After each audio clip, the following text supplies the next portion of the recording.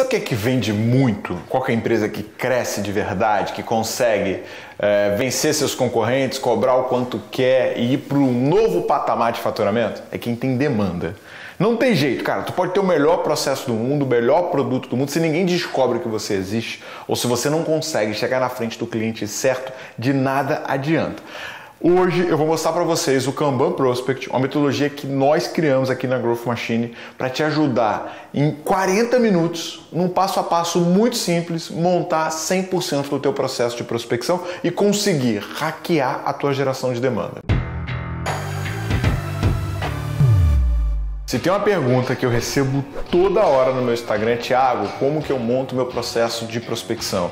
Tiago, o que, que eu escrevo no meu e-mail? Tiago, como é que eu faço para fazer um script de abordagem campeão que faz com que o meu time converta mais oportunidades? Pois é, todas essas respostas estão aqui no Kanban Prospect. Só que antes de eu te explicar como você vai usar o Kanban, cara, muito importante. Deixa sua curtida agora. Quando você curte aqui, você informa para o YouTube que esse conteúdo é relevante, você ajuda o nosso trabalho a chegar em mais pessoas. E se você ainda não é inscrito, já se inscreve agora, ativa o sininho para você ser notificado. Eu tô ao vivo uma vez por semana e conteúdo novo para te mostrar como é que você hackeia vendas. Beleza? Então, bora pro Kanban. Cara, o Kanban Prospect é uma metodologia que a gente combina, tá? Design Think com desenho de processo. Por que que acontece? O grande desafio quando a gente está falando de prospectar é você conseguir transmitir a sua mensagem pela perspectiva do cliente. Não é sobre o que você vende, é sobre o que o teu cliente está tentando fazer e não consegue. A maioria dos processos de prospecção falam da empresa, falam do produto, falam muito de si e esquecem de focar na ponta que realmente toma a decisão, que é a ponta que importa, que é o cliente. Então, o que, que acontece? No Kanban você vai desenhar pela perspectiva do cliente, o que ele faz, quais são as dores, quais são os sonhos, o que, você tem de produtos e serviços e o que, que você tem de cases dentro desse segmento. Você pode usar o Kanban toda vez que você for atacar um novo mercado, mas eu te aconselho a estruturar um Kanban muito bem feito para o teu principal mercado, testar e ir otimizando ao longo do caminho. Outro ponto que a gente trabalha no Kanban é a prototipação. Qual que é o erro mais frequente que eu vejo em gestores de prospecção imaturos? Eles querem chegar no processo perfeito. Eles gastam um tempo enorme tentando fazer o processo perfeito, nunca fica pronto o processo perfeito e aí ele acaba não tendo resultado. Ou então indo para um outro extremo, que é trabalhar só com templates e modelos prontos. Tiago, template e modelo pronto não ajuda? Ajuda, ajuda. Ele serve como uma referência para você montar o seu processo.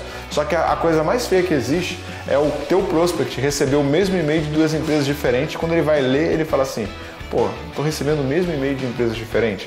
De novo, não adianta você tentar começar um relacionamento sem você efetivamente criar valor, criar confiança e pensar no longo prazo.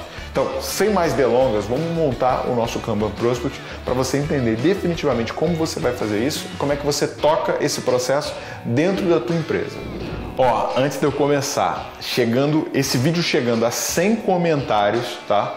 Coloca aqui embaixo qual é o teu segmento. O segmento que mais tiver comentários, eu vou fazer um, um Kanban específico do teu segmento. Inclusive, já manda logo para os teus colegas de indústria e pede para eles comentarem também com o nome do segmento deles.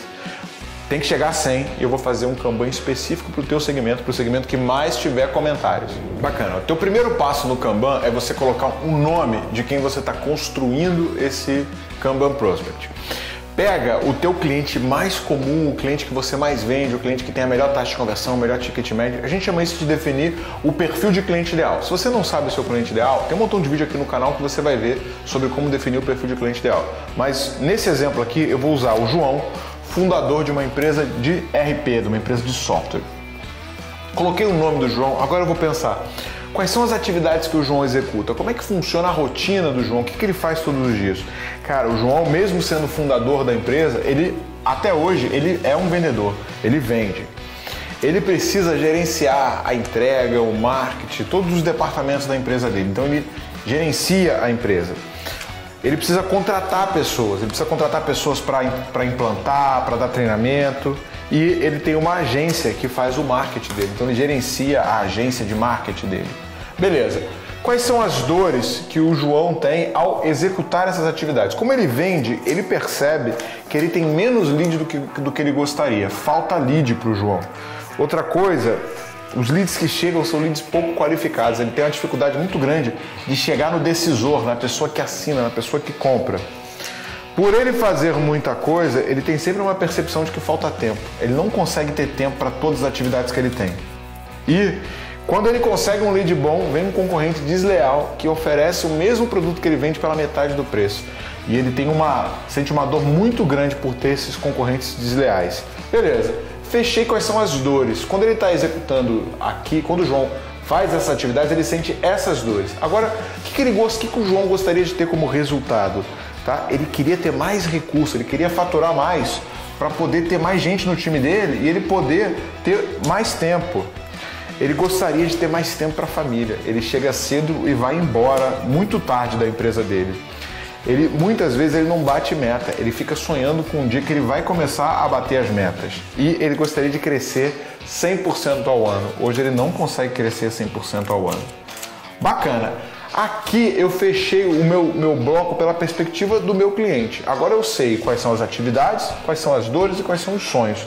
Agora eu vou para o outro bloco onde eu vou definir o que, que eu tenho de oferta e o que, que eu tenho de case quando eu for prospectar o João. Cara, dentro do laboratório a gente apresenta uma opção para o João se tornar aluno do Demanda Infinita, que é um treinamento que a gente dá que ensina empresas como a do João a controlar a geração de demanda.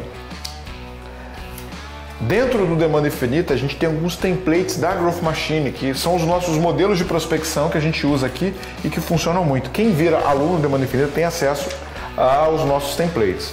Nós temos um time de suporte que está de prontidão para tirar todas as dúvidas e ajudar o João a resolver. A gente tem uma mentoria coletiva, que na verdade são os nossos plantões de dúvidas, que é onde a gente tira todas as dúvidas, tá? É, então, esses são os produtos e serviços que a gente tem. Quem consumiu esses produtos e serviços? Primeiro, quais são os sonhos que foram conquistados a partir do Demanda Infinita? Cara, a gente escuta com muita frequência os nossos prospects, os nossos clientes, contando que bateu o recorde de novos leads ao implementar o método. É, uma empresa especial que fez o Demanda Infinita me contou que conseguiu gerar 40 oportunidades qualificadas em 15 dias. Uma das empresas que a gente acompanha, o Juliano, cresceu mais de 100% de um mês para o outro. A Lu viu todo o seu time batendo meta e o Léo da Interfreight teve uma redução de 90% no seu ciclo de vendas. Aqui a gente fechou a comunicação. Eu já entendi como que eu vou abordar e eu já entendi o que, que eu vou referenciar para criar confiança no João e contratar meus produtos e serviços. Agora eu vou descer para montar o meu fluxo de cadência e criar os meus filtros de qualificação. Primeira pergunta que você vai decidir é: esse processo que você está montando, ele é inbound ou ele é outbound? O meu processo ele é inbound. Então, vou botar aqui o x no inbound. Segunda coisa, o ticket médio que eu trabalho é um ticket médio de 600 reais mensais. Como eu estou falando de trabalhar com pequenas e médias empresas, eu vou usar a cadência fundamental, onde eu consigo ter algumas atividades que automatizam o trabalho, mas eu tenho pelo menos três ligações que eu vou tentar me conectar. O meu prospect está em qual, qual desses canais eu posso usar para acessar ele. Então, o meu prospect usa telefone, o meu prospect usa e-mail, o meu prospect usa LinkedIn e Instagram. Meu próximo passo agora, e você pode fazer isso usando uma caneta, é definir de em quanto quanto tempo eu vou acessar ele por quais canais. Então, por exemplo, primeiro dia eu vou fazer pesquisa e vou fazer ligação e vou mandar e-mail. Eu vou dar um intervalo de dois dias. No terceiro dia, eu vou só mandar e-mail e fazer ligação. Vou dar um intervalo de mais dois dias, vou para o quinto dia. Aqui eu vou fazer um social point e mais um e-mail. Vou dar um intervalo de mais três dias e eu vou mandar um último e-mail e tentar fazer uma última ligação. Ao final, some as atividades para você entender quantas atividades de prospecção tem no teu fluxo. Então aqui eu tenho 3, 5, 6, 7, 8, 9. Então eu estou com um total de 9 atividades dentro do meu fluxo. Agora o que, que falta para eu fechar? As perguntas de qualificação, que é o que a gente chama de critérios de qualificação e red flag. O que, que eu tenho de pergunta de qualificação dentro desse processo? Primeiro, O nosso, o foco do, do, do Kanban Prospect, o foco do demanda infinita, são empresas que são B2B. Então uma pergunta que a gente tem é: você é B2B? Segundo, né? É, está com uma gana grande, grande de querer vender mais, de querer crescer. E terceiro, tem um ticket médio superior a 600 reais mensais. Abaixo de 600 reais é difícil conseguir montar um processo de prospecção outbound. Então, agora como é que eu vou fazer para usar isso tudo, Thiago? Daqui vai sair os teus modelos de e-mail e os seus scripts de ligação e aqui são as provas e os cases que você vai trabalhar para conduzir o teu prospect. Então, por exemplo, né, se eu fosse agora prospectar o João por telefone, eu ligaria para ele e falaria: "Tudo bom, João? Cara, aqui é o Thiago da Growth Machine. Eu estava analisando o teu site.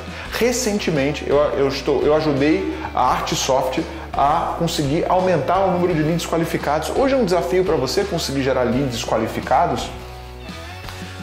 Então, é, João, é, eu estava analisando aqui no LinkedIn, eu vi que você é o fundador da empresa de RP XPTO. É, atualmente, a gente ajuda parceiros SAP a criar processos de prospecção que permitam chegar com mais facilidade no decisor. Eu fico imaginando hoje se você está tendo algum tipo de dificuldade em chegar nas pessoas que efetivamente decidem outra abordagem. Tudo bom, João? Aqui é o Thiago Reis da Growth Machine. Cara, recentemente nós ajudamos o Leonardo da Interfreight a colocar um processo de geração de demanda que usa ferramentas e automações que permite com que ele tenha mais produtividade e saia do trabalho operacional, consequentemente ganhando mais tempo. Você percebeu que eu não falei da Growth, eu falei do que, que ele está conquistando, batendo nas dores dele? Pois é, citando sempre um case e uma referência de quem eu ajudei no passado, aqui você criou um mandato de comunicação com o teu prospect, onde você para de falar de você e começa a fazer perguntas e provocações pela perspectiva dele, pelo negócio dele, por onde ele está tendo dificuldade de executar. E como você para de falar de você e começa a provocar os problemas que o João encara todos os dias, ele vai estar tá muito mais aberto a falar contigo, a te ouvir e a querer entender um pouco mais de como você ajuda ele a resolver esses problemas. Importante, eu vou deixar aqui na descrição desse vídeo um link para você baixar esse template. Cara, baixa, usa e abusa. Eu gosto muito de receber fotos lá no meu Instagram. Então, se você montar o teu Kanban, tira uma foto, me marca thiago.reis.gm. Cara, eu sempre compartilho e faz isso, eu amo de paixão receber. Uh, você tem um amigo que está precisando prospectar mais, que não sabe como montar o seu processo, que está usando aquele template desatualizado, que está reclamando que gastou dinheiro com ferramenta, com agência e não está tendo resultado? Manda esse vídeo para ele, clica lá embaixo, manda por WhatsApp, fala assim, cara, eu acho que isso aqui vai te ajudar. E aqui vão ter dois vídeos que são complementares ao que eu te expliquei nesse vídeo. Vamos para cima.